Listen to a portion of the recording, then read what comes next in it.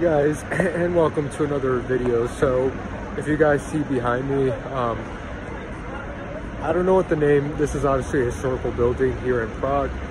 Uh, it looks like to be it's on fire. I was just literally getting done with dinner and just kind of like walking by. And then all of a sudden i see like a list of ambulance. And then all of a sudden as you see it's on fire right here.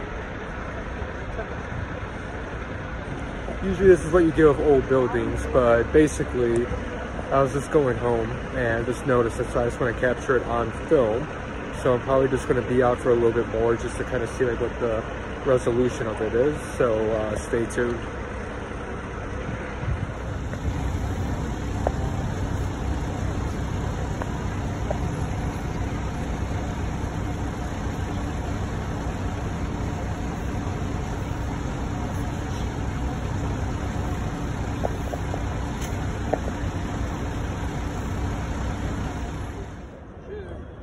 So,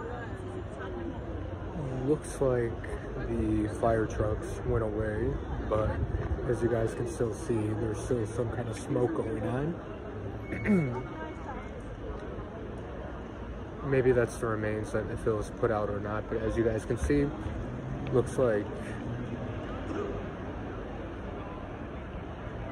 maybe it was disintegrating, but as you see, the fire trucks were gone.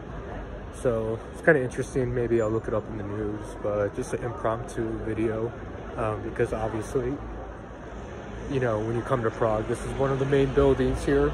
As you see, like how old it is. Um, sometimes with these old buildings and infrastructure, a lot of times you might see like random fires that come across. One thing that came to my mind was, I think a few years ago, if you guys recall, it was uh, in France, in Paris, you know, the Notre Dame Cathedral how old it was and then all of a sudden it caught fire and some of it got destroyed. So again this is i don't know how old this building is but it's quite old.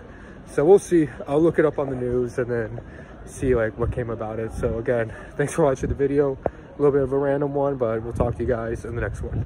Bye